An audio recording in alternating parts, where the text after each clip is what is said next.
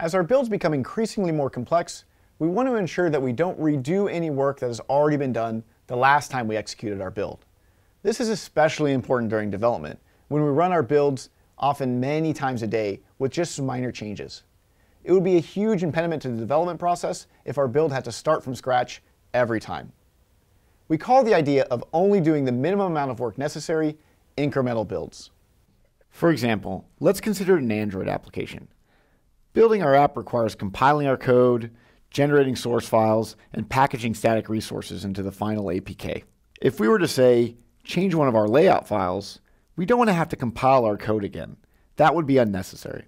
Gradle accomplishes this by tracking each task's inputs and outputs. Before each task is run, Gradle saves a snapshot of the inputs used by the task. If that particular task doesn't have any snapshots of its input yet, or if the inputs have changed, then Gradle will run the task again. Gradle additionally saves a snapshot of the outputs created by this task.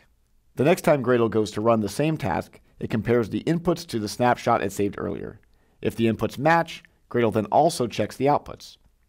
If the outputs haven't been messed with since the last time the task ran, then the task can be skipped. If the outputs have changed or are missing, then the task must run again. When Gradle determines that no work needs to be done and the task can be skipped, the task is said to be up to date.